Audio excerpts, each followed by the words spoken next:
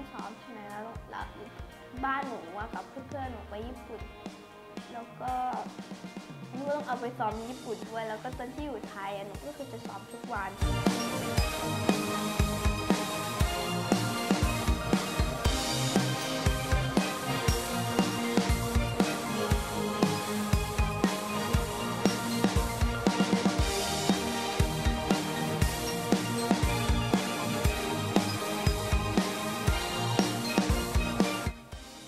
อีกท่อนหนึ่งของเพลงนั้นเลย